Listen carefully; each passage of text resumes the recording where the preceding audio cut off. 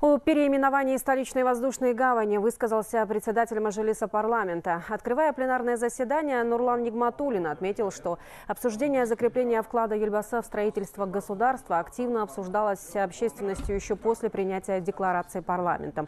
По его словам, инициатива переименования аэропорта получила поддержку в регионах страны. Исторические понятия, как независимый Казахстан, как его первый президент Нурсултан Назарбаев, восприятие всего мира стали единым целым. И решение, которое сегодня принято о переименовании международного аэропорта, я думаю, это еще одно яркое тому свидетельство. С чем я поздравляю вас, уважаемые коллеги, потому что депутаты парламента, принимая ту историческую декларацию 25-летия независимости Казахстана, отмечали особую роль нашего первого президента. Уже после пленарного заседания в кулуарах Мажилиса свое мнение относительно переименования аэропорта высказали и другие парламентарии.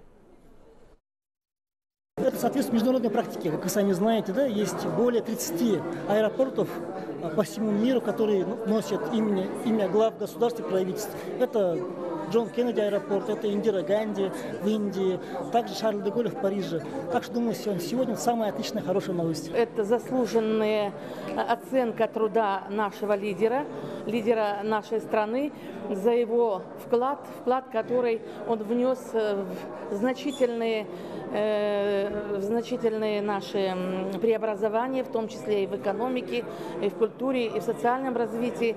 Кроме того, весом вклад в деятельность деятельность нашего президента в целом мире. И, э, скажем так, очень символично, что э, имя президента присвоено именно международному аэропорту. Э, это ворота в нашу страну. Когда такое переименование происходит, это память для потомков. Ведь надо не только сохранить все, что было создано, а наша теперь задача это приумножить, и чтобы всегда, еще через долгие века, когда будут прилетать в нашу столицу, будут понимать вклад этого человека и не будут спрашивать, кем он, кто это такой, а будут прекрасно, что это основатель независимого Казахстана.